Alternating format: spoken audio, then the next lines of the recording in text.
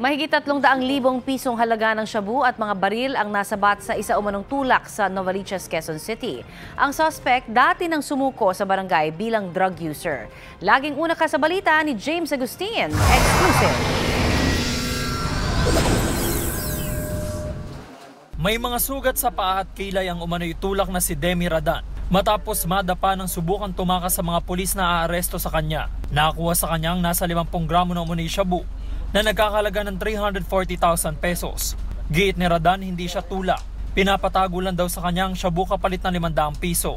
Nandito na ho yan sa ano namin. Kumbaga namin ah, iniiwan dito at pinipick up lang dyan to, kahit sa ang area dito.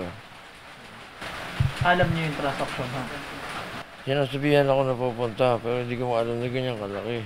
May nakuha rin tatlong baril. Nasabi ni Radan ay hindi sa kanya. Iniwan lang daw ito ng mga pinautang niya ng pera. Cash po yung sinanla yan pero ah, for safekeeping cash ang kinukuha nila hindi ho sa, sa drugs kasi may ibang transaction sila sa labas. Ah, so iniwan lang din po sa inyo. O kasi po yan paling pinaka-collateral nila eh. Taong 2018 nang sumuko sa barangay ang suspect bilang drug user.